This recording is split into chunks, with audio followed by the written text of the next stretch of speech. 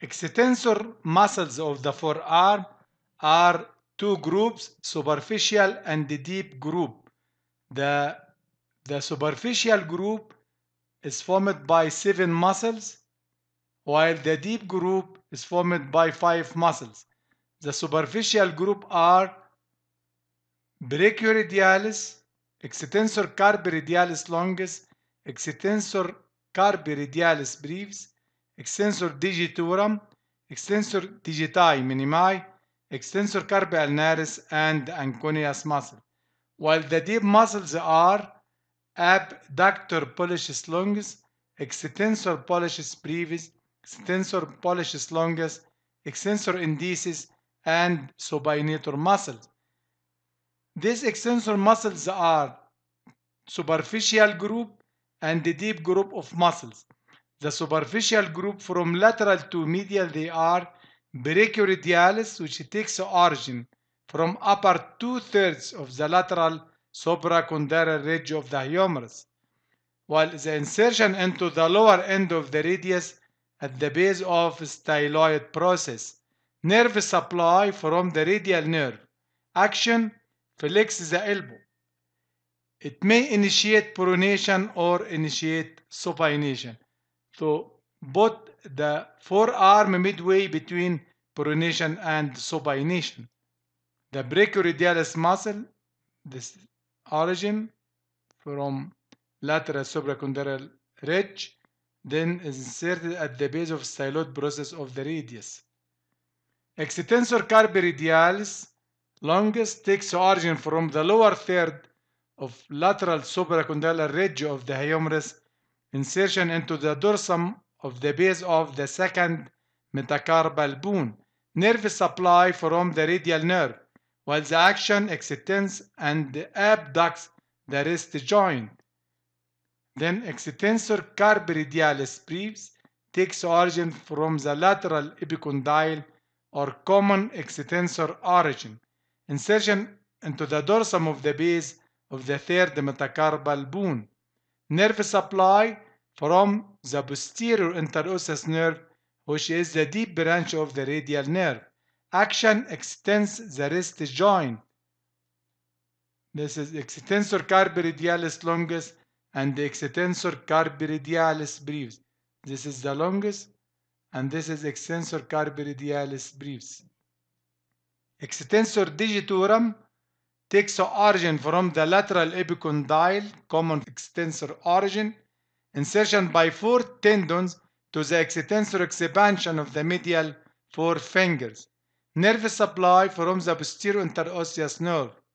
Action extends the proximal phalanx of the medial four fingers and extends the wrist joint also. Extensor digiti minimi takes origin from the lateral epicondyle, common extensor origin, insertion by tendon which joins the expansion of on the back of the proximal phalanx of the little finger. Nerve supply from the posterior interosseous nerve. Action extends the proximal phalanx of the little finger and helps in the extending the wrist. Yeah, this is extensor carpi radialis longus and brevis. This is the extensor digitorum and this is the extensor digiti minimi. Extensor expansion. Each tendon of extensor digitorum expands over the back of the proximal phalanx of the medial four fingers to form extensor expansion. Each extensor expansion receives part of insertion of the one lumbrical muscle and either one or two of the interossei muscles.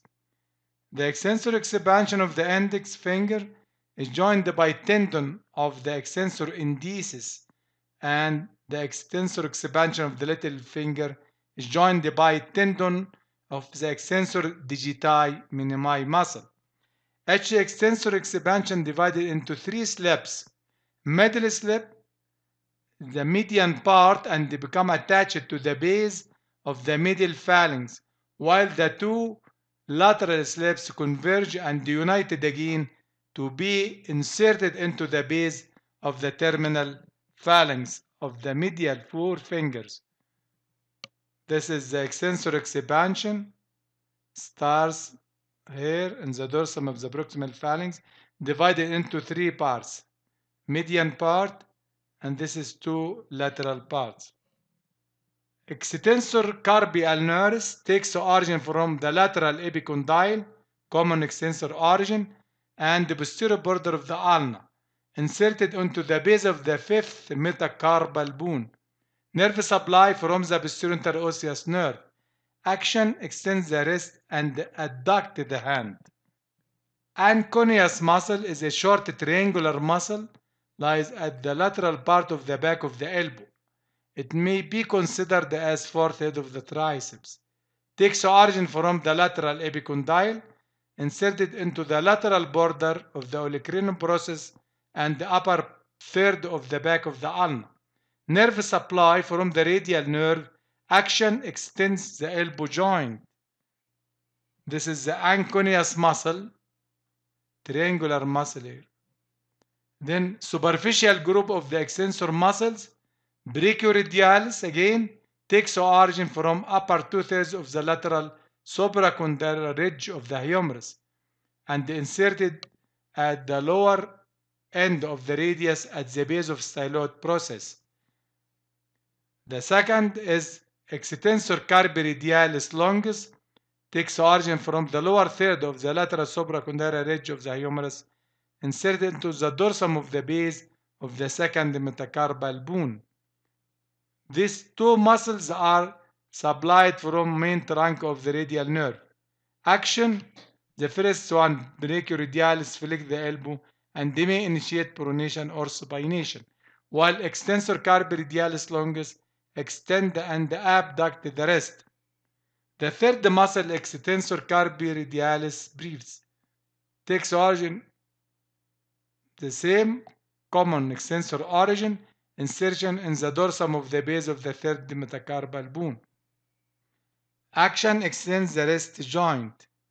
Extensor digitorum, extensor digiti minimi, extensor carpi ulnaris, and the anconeus origin from lateral epicondyle of the humerus and inserted extensor carpi radialis brevis in the dorsum of the base of the third metacarpal while extensor digitorum by four tendons to the expansion of the medial four fingers extensor digiti minimi in the expansion of the little finger extensor carpi ulnaris in the base of the fifth metacarpal bone all these are supplied from posterior interosseous nerve, while the anconeus muscle supplied from main trunk of the radial nerve.